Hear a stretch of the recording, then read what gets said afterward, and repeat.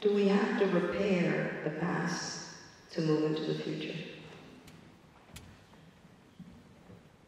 Uh, I mean, think the, the short answer is absolutely. Um, I The think- long answer?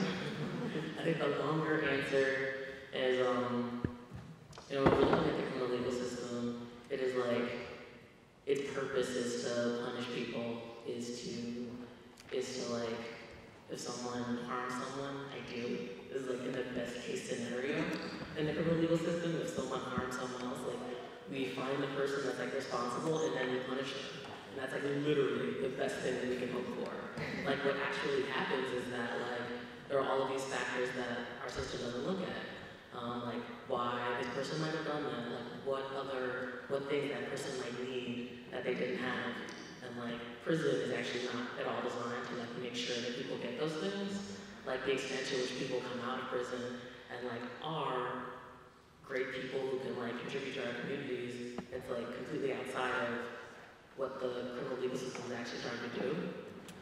Um, and so it's like we can't actually, we can't just say, hey, we're not gonna do it anymore, and now everything's fixed. It's like there are all of these people who have been just sort of ground up in this system where they haven't got the things that they've needed, and then they've just sort of like been punished and like still, they still don't have the things that they need. And like that's not even looking at, that's just looking at people who like committed harm or like are convicted of having committed some harm. Like we're not even talking about the people who have been harmed and what they actually need. Because the criminal legal system at best gives them like the opportunity to punish someone, but like doesn't actually care about like people healing or like what things um, they've like lost and need to need to like regain or gain they never had.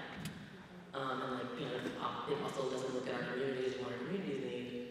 Um, and like this idea that like, when someone in our community is harmed, it's not just that person, it's not just their family, it's like this like larger ecosystem of like all of us that is like impacted by that.